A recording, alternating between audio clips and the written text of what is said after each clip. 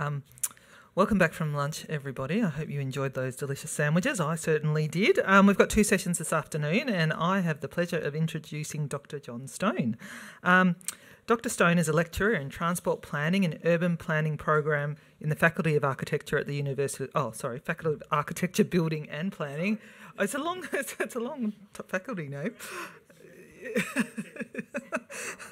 um, at the University of Melbourne. His research seeks to improve public transport performance in Australian cities through a greater understanding of the professional practice and the political and institutional context for public transport planning in similar cities in Canada and in German speaking Europe. He is currently pursuing opportunities for greater exchange between Australian practitioners and their international counterparts.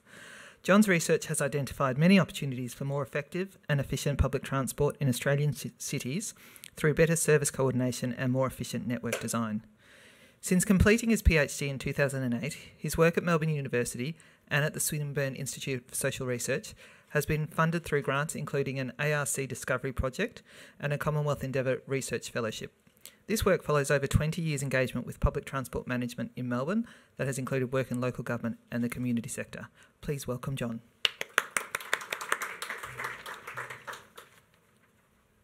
Thanks, Sarah. And thanks for all coming back after lunch. Great to see you here. And as Andy said, it's fantastic to actually be in a room with people instead of everybody with a square box around their head. Knowing how tall people are, knowing what people look like in three dimensions, it's, it's fantastic. Um, I think the most important part of that introduction is that my work has been both in academia and in local government and in the community sector. And what I think I've learned most through that is that if we're going to get anywhere, we have to build alliances. And it's fantastic to be here with the MTF, who's been one of my strongest allies in my individual practice. They helped fund my PhD back a long, long time ago. But also in terms of the work we do collectively to, to get change. And is that the one? Yeah. And also like to acknowledge that we're here on Wurundjeri land and really to re re reiterate what Jonathan said in terms of what we what it means for us as transport professionals to be thinking about land which people have moved across in various ways for many many thousands of years. And that a lot of the tracks that we look at today our roads our railways follow patterns of movement that, that go back that long time. So we really, it's incumbent on us really to think about the, the footprints under the footprints that, that we make today. What I want to talk about today is how important public transport is, and Ines gave us a fantastic lead into it by saying that our duty as public transport planners and local government officials, wherever we work in this area, is to think about the care that people need to express to their families, to their communities, and the reciprocal sort of networks of care that our transport system needs to engage with, and that public transport is so important in playing that role in, in people's lives, in connecting people. I'm going to talk specifically about the west of Melbourne, but this is a, an issue that faces people right across Melbourne. But particularly in the west, where communities are forced to bear the brunt of long periods of poor investment, poor planning, which means that people don't have the opportunities to connect their lives in the way that they need to. Well, living in Werribee, there's very like limited um, buses like near my area. I think there's one near Riverwalk. I live near Riverwalk, but not enough that like the bus would drop me off there and then I could walk to my house because it's too far away. And because there's no buses, I have to go to my local library and wait there for a really long time until like six o'clock, and so like my parents can pick me up from the library. So I think there needs to be um, a bus way closer to my house so I can get home from school. Uh, I think it'd be a huge, like, significant change in my life because, like, um, going to the library has been a part of my life since year seven. So I've been going there every single day since year seven, and it's like really draining. So I think it'd save me a lot of time and a lot of effort. the less deserves the best.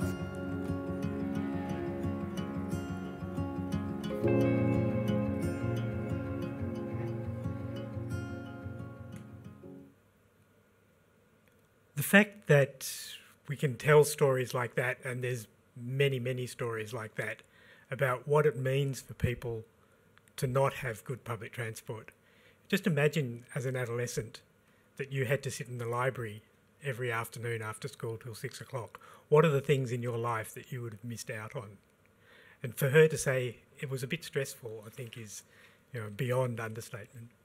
And Friends of the Earth have been collecting those stories and amplifying them, and it's a really important part of the work we do, telling the stories of what it means for people to not to be able to connect. This is the network, to use the term loosely, of bus services that is currently provided in in the West, and it's we'll look into it in a little bit more detail about what you might do to it and what it means in terms of accessibility. But basically, what we've tried to do is to spread the resources we have as thin as possible so that everybody has a bus stop within walking distance. And that's the that's the measure. People in this room probably really understand that very well. The measure we have is that you're within 400 metres of a bus stop, not within 400 metres of a service that takes you into your community that connects you. So we really have to fundamentally change that measure that the government uses to decide whether we have enough service or not. And to get as many people close to a bus stop, we spread the resources really thin. We have very circuitous routes. We have routes which run very infrequently. And that gives us a pattern of use that Jan here today, we're familiar, is author of these maps, which he and his colleagues have done for cities all around the world, but which basically say, given the public transport system that you have in that system, in that city, how accessible is that community? And for most of the West, it's the service provides almost no connectivity at all. So, and even in the best parts of the West, Footscray, we're still getting to you know, good on an international scale. There's cities with similar sorts of structures to our own where large areas of this, the suburban hinterland are actually in at least yellow, if not red and green, and in some cases the dark green. So it's not impossible to do that, but we haven't done that yet.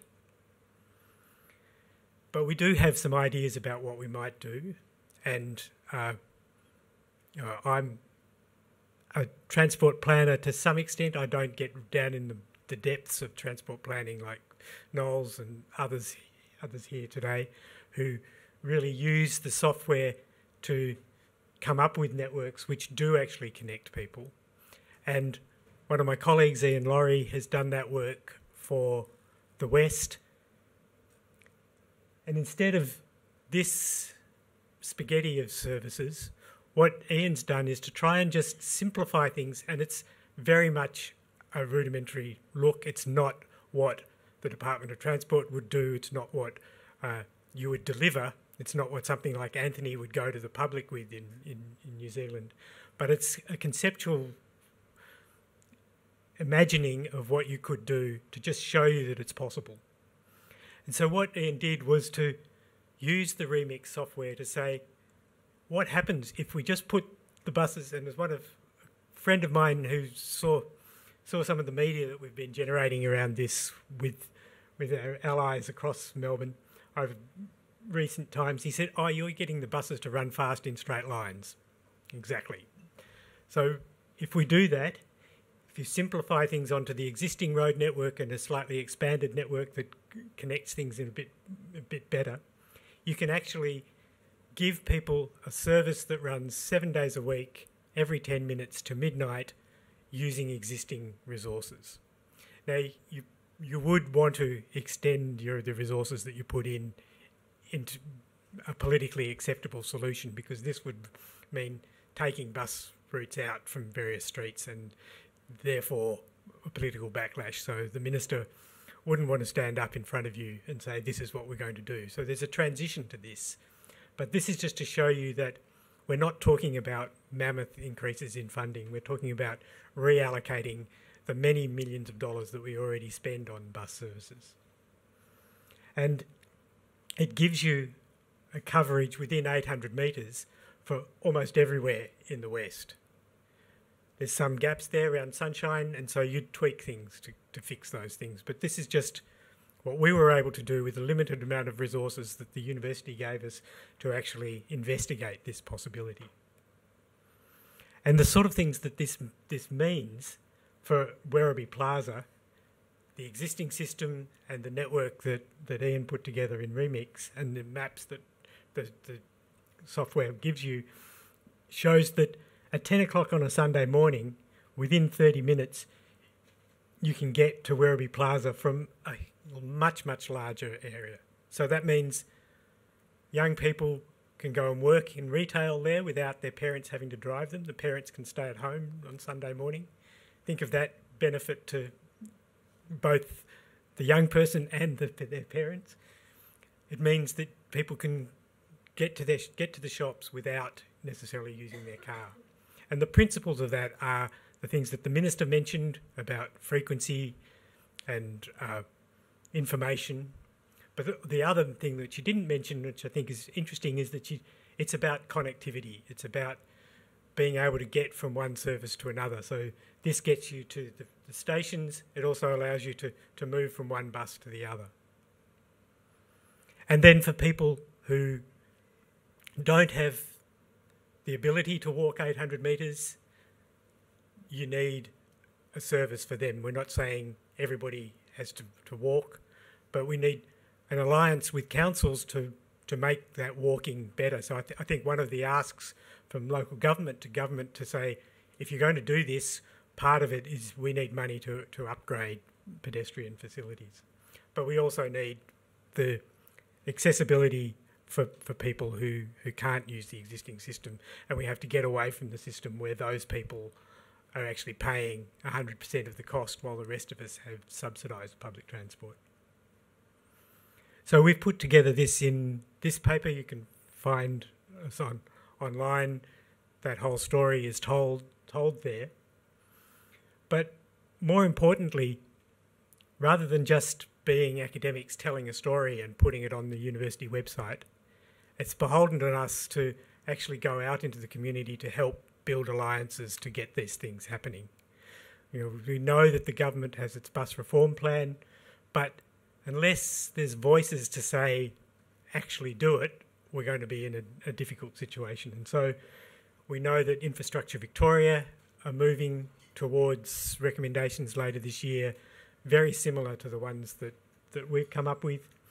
And the Committee for Melbourne, the organisation that represents the establishment of Melbourne, the big companies, the big businesses, they, with the help from Laura, who's here, and myself and, and others, have written a report which basically says we understand that the big issue for Melbourne is what happens in the suburbs. The fact that people are disconnected from for for business from opportunities to spend money and to work.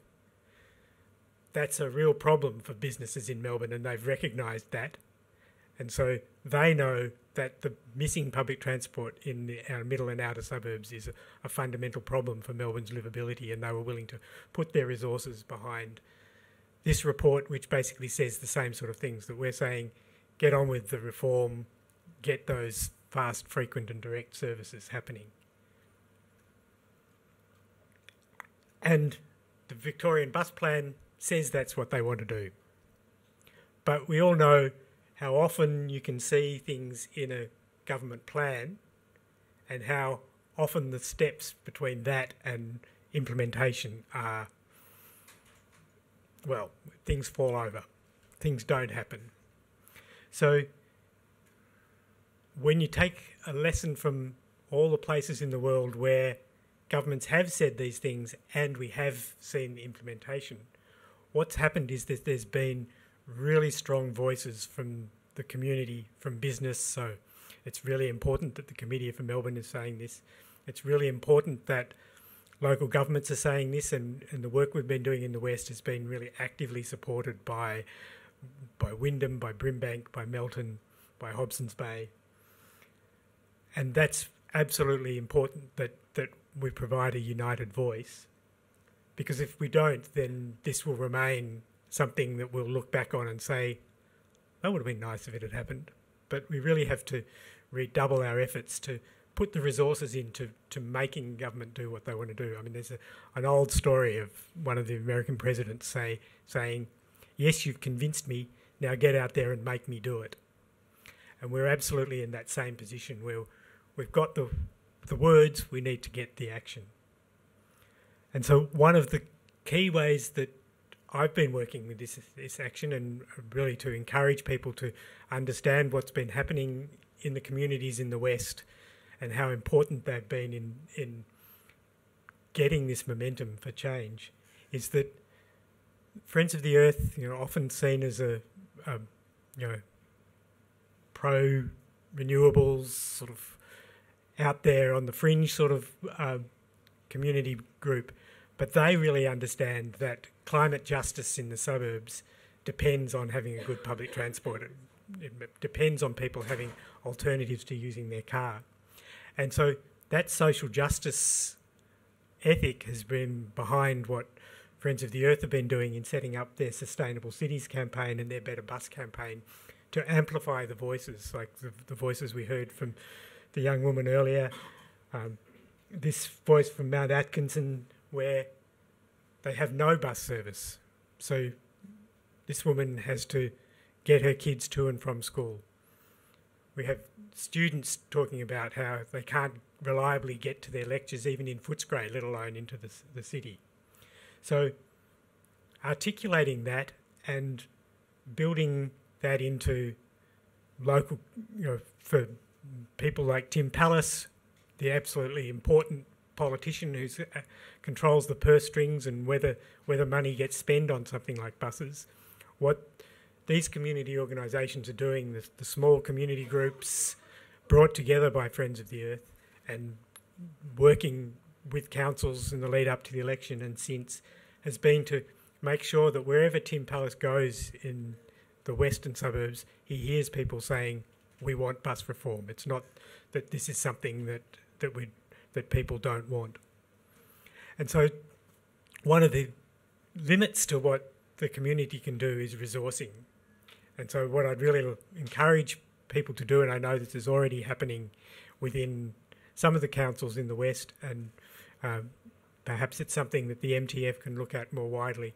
How do you bring resources from councils into these organised communities who are saying, we want this? Because that's where the strength comes. So I'm really, really happy to talk to people about how to make contact with this and what resourcing would actually make a difference. And one of the things that, that the people in the West are doing is seeing all the words being spoken about the bus reform plan and pilots, and they're seeing things perhaps, perhaps happening in the northern suburbs, the northeastern happen, suburbs, or in Mildura. They're saying we're still being left behind. So what they're saying is you could actually do something now in the West. You don't have to wait for this long process that the bus reform plan outlines about looking at the contracts that are coming up in 2025 and making savings from those and then thinking of ways that you might re- reinvest those savings in better buses. CDC, one of the big companies in Melbourne, operates a large majority of the, the buses that run in those circuitous routes in the West. And it would be possible for the government to sit down with CDC and say, the community wants us to act on this faster. What can we do within the existing contracts to reorganise the bus routes? This is a conversation that could be happening right now, and that's what, what the people in the West are saying to us is don't leave us behind yet again. This is something that could be in place, in at least in very nearly to, to implementation before the, the next election. It's something where you, the government could say to the West, I know we're not delivering you the airport rail, we're not delivering you the, the Western Rail Plan, but we are delivering you better buses. So, just to conclude, really, the message is we have to do this in alliances, and it's you know the MTF is a, a central part of that of building alliances through your connections to all the local councils and the local communities.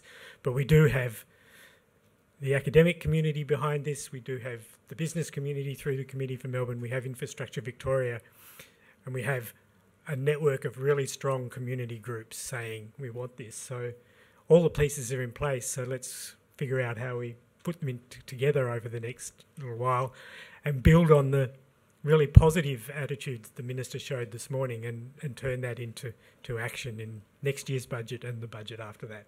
So thank you very much.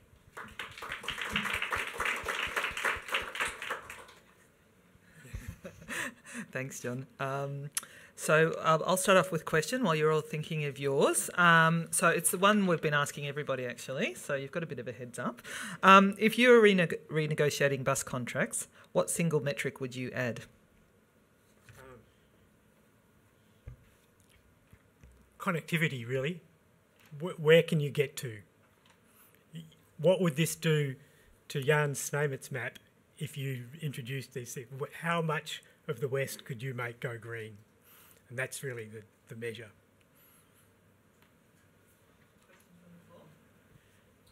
Um, and a reminder to those of you playing from home, please use Slido to put your question up. Uh, the contact details are on the screen now. Um, and it's lovely to hear from Simon, but we hope there are other people out there with questions as well. So, um, have we got any questions in the room?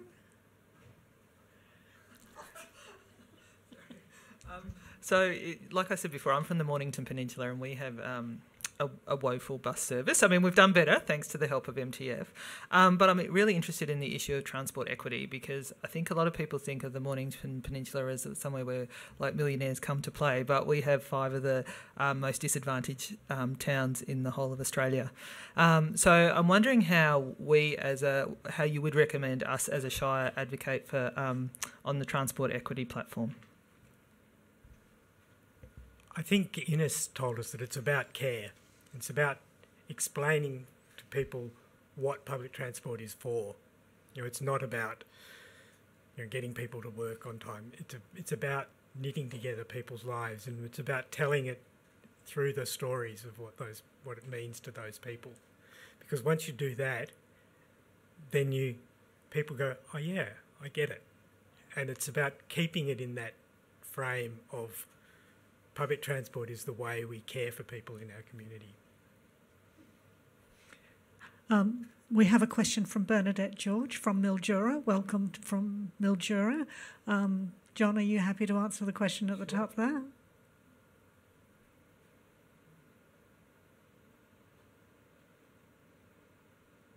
Yeah, good point. uh, yes, I think that you know, it's in Germany recently, and they have a wonderful campaign which is about little legs, short distances.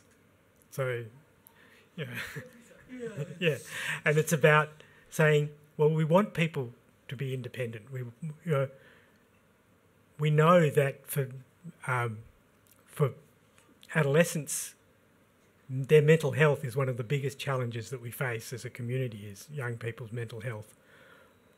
What we don't connect that to is the lack of transport options that they have. It means that they are dependent, as that young woman was an extreme example, but it's true for everybody who gets picked up and taken everywhere they go, that they can't travel independently. They have to travel in a way that's dependent on an adult, and that is no good for their mental health. So I think it's another way of framing what we're looking at is we're here to look after the mental health of young people, and that means bringing communities and schools closer together. Uh, do we have another question in the room? Oh, No, no worries. Um, hi, I'm Sophie. I'm from the one of the councillors at the City of Yarra. Um, it's interesting how you've described that you know you've got all the pieces and, and i feel like that's something i've seen from yarra is i'm looking at all these pieces line up in the west about why it's such a good idea to have a better bus network um, but it's still not happening. And and my question is how can those of us who are better served by public transport help? Yeah i think it's it's about saying we need equity but it's also i think you have to be careful not to say we've got it great because you know I live in the, the inner north, but to get to Alphington from you know I, there's one bus that goes that way, but it and there's only one that runs in the evening. So getting across town, even in the inner city, is hard. So we need connectivity across Melbourne. So I think it's part of saying this is something that all of Melbourne needs, but the people of the west need, or the people of the outer suburbs need it first because they absolutely have no other alternatives. So it's about using the collective networks of the MTF to, to really say this is a number one issue for for how Melbourne looks after its its citizens, and that's what we expect governments to do. Amanda, and then we'll come back to you, Laura. Yeah, yeah. Um, I certainly uh, am a supporter of uh, of better bus networks. Um, my, I've got uh, children in that age group, the twenties and thirties age group, who would normally travel, you know, who who just use cars because there's no frequency in in buses. Um, my my son lives out in uh, the basin. There's nothing. Mm. Um, so wouldn't we be, be better to spend more on bus infrastructure and, and uh, bus services, connecting those buses into the ends of the railway and tram lines and running that frequently every 10 minutes, uh, seven days if we, if we could, instead of embarking on these massive um, infrastructure projects like the suburban rail loop, which is only going to provide services between Cheltenham and Box Hill at, at uh, something like $200 billion in cost. Yeah. Redirecting resources. Yeah, absolutely. I think, I mean, we're, it's redirecting how we spend the big capital money, but also about how we redirect the operational money. But, and one of the things is that having decided to build Metro Tunnel, which has its perhaps in planning terms a lot more pluses perhaps than the suburban rail loop, but but it's not going to get all those people to fill those new long trains if we rely on people walking or driving to the stations.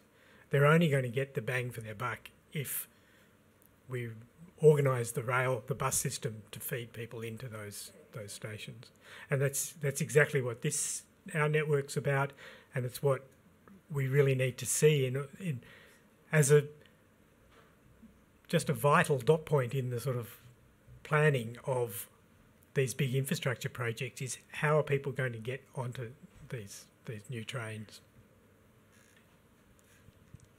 Thanks. Hi, John. Thanks for your talk. Um, sort of in answer to, well, it's a question for you, John, in answer to Sophie's question, but a few councils have passed motions in support of Better Bus, so Maribyrnong and Brimbank. Does that help? And is that something that other councils can do, even if they're not in the West? If not already, maybe you've already done that. Sure. I think that sort of thing raises um, understanding in the community of what the council supports. It's it's the first step. It's you know, how do people know that Maribyrnong or the other councils have made that resolution? So, what are the councillors doing to have that voice made more public? So, how can they resource their community to express that voice more strongly? You know, it's it's that that's an absolutely great first step, but it's really you know, how do we make enough noise that the government can't do anything but connect our communities. Okay, I'm Jan Scheurer from RMIT University. Um, just on this debate about uh, better bus services versus more rail infrastructure um, are actually with a tool that you um, thankfully presented here today, John SNAMUTS. Um, we actually, during the pandemic, um, in times of boredom, actually did a little project with Peter Parker and his Useful Bus Network, which is very much a similar exercise to what you presented from your colleague, um, but for the whole of Melbourne to actually create a bus system that is useful for people in high frequency. And um, one of the things we realized is that you can't really separate mm-hmm. um, improving bus services and also improving the rail system because it still works as one system. Yeah. It works as one network. Once you actually get better bus services, these people will also be found on trains. And when you find the trains aren't running often enough, then you're going to run into a massive capacity problem. So it's not just about uh, filling those long trains with more bus bus feeder services, but also having more of those long trains so the bus feeder passengers yeah. can actually be accommodated yeah. there. And that, in some cases, would actually require massive infrastructure spending yeah. um, over and beyond what we're currently talking about or doing with um, with the uh, metro rail tunnel and the suburban railing. Sure, sure. And I think that was Anthony's point this morning was that it's network, network, network, and it depends what our ambition is. If our ambition is to get the people in the West using public transport to the same degree that people in the inner suburbs do, that's great, but it still might not be what we need to do to, to deal with car, climate change. So, yes, we've got to set our ambitions pretty high. Back to Sophie. That's okay. That's fine. Um, I also had a question, and that just reminded me, and it was something that came up during the New Zealand presentation as well, is we often kind of talk about you know, where's the most efficient spend of our transport budget and redistributing bus networks or taking it from rail.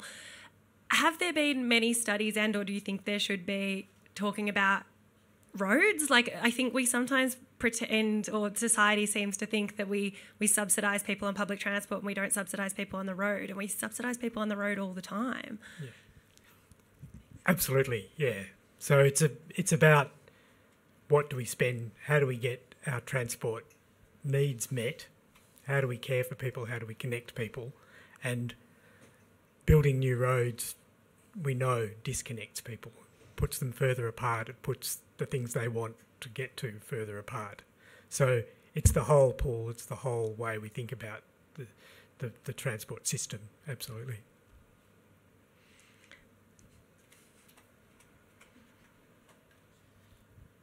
John, a bit off topic, but every council in this state, and especially in this city, as soon as they see a, a bus stop, they go and plant a tree right next to it. It stops the people waiting at the bus stop from seeing the bus coming and leaves the bus stop driver, he only sees the person at the tram at the bus stop when he's on top of it. Why do they do that? Explain. mm. Let's let's assume that they're doing it from the best motives rather than just having the truck there at the same time. Well, the best motives might be somebody needs some shade when they're waiting for the bus, particularly if they're waiting an hour. So, yeah. So, yeah, I mean, all of those things need to be put together. You, you need to have shade in the street. Our streets need to be safe, shady, and fun so we can actually use. Yeah, but you've got to get to the bus stop.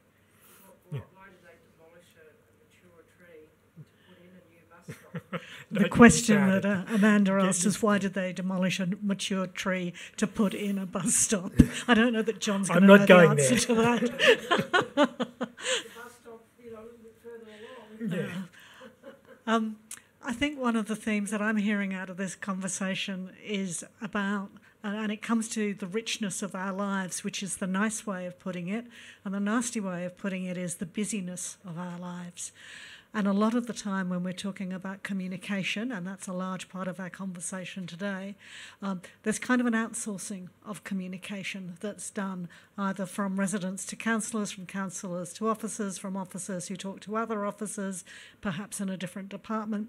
But it's about how do we make sure the conversation and the engagement goes as wide as possible so that we're all moving forward. And I think that is very much a challenge for us. You've done a vast amount of work in that engagement side of things, and you keep doing that work, John. Good on you. Um, but it's the sort of thing we can't ever actually let lie we have to keep at it. It's like doing um, Ride to School Day. You can't stop it after six years because you've actually got a whole new cohort of kids that come in every year. We have to keep on this topic and keep pushing it because it's a bit of the squeaky wheel syndrome, but we can't outsource it. We need to be probably a bit more politically astute and engagement astute. That's not a sentence, I know, sorry. Um, to um, to make sure that this stays front and centre within the politicians' minds and we make them do it as per your quote. So, um, are there any other questions? Um, Slido people, people out of the room? Okay, well, we might hand back to you, Sarah, to thank, and then we'll do a little bit of shuffling up the front so that we can get ready for our panel. Oh, Knowles, you have a question for John? Yeah, why not? I, I was reflecting on your comments there, Jane. So very, they were good comments. And I bumped into Peter Parker the other day at the coffee shop. He said, "Oh, Peter, where are you off to?" Uh, he's off to Dandenong Market, which is a great place to go. But um, he had a whole bunch of flyers, and he was handing them out to people at the bus stop, all on his, well, Yeah. on the campaign. Yeah. And uh, as you were speaking, I was reflecting on that little interaction and how we went and spoke to a lot of the politicians before the last election. And I thought, tying up with your comment, John, what could we collectively to get a little, I don't know, a little bit more juice out of out of that? Is there multiple Peter Parkers that we hmm. get? How do we energise more people in the community hmm. to take that sort of approach?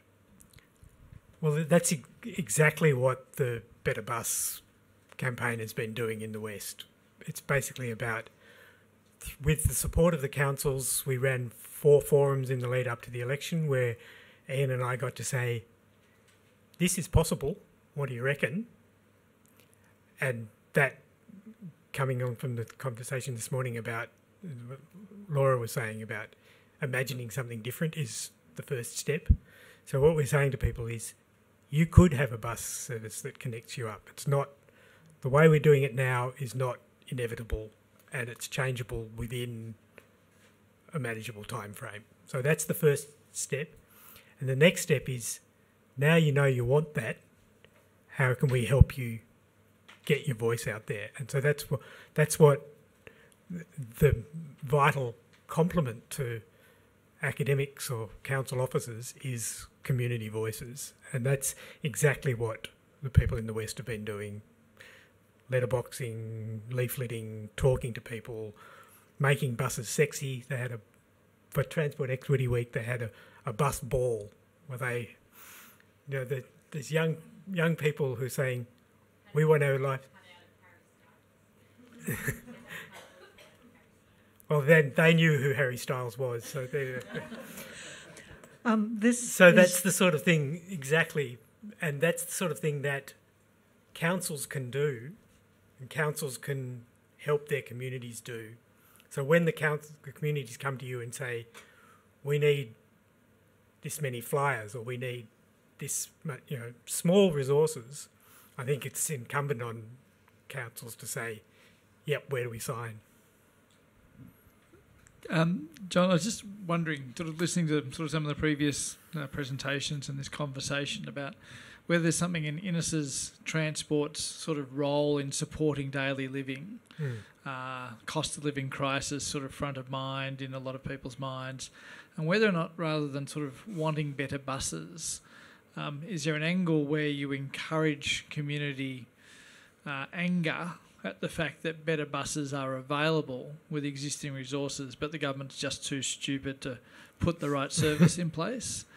And if, if there's something in there, and particularly in the West, where if you look at the last election, a lot of pushback on Labor seats, you sort of listed a couple of the big projects that haven't been delivered because they've been delivered in Sandbelt and sort of those other important seats Yeah. in the southeast. So whether or not there's a different tack Mm. that government's not support providing support for daily living because it's being silly about how it's spending its public transport dollar now. Yeah.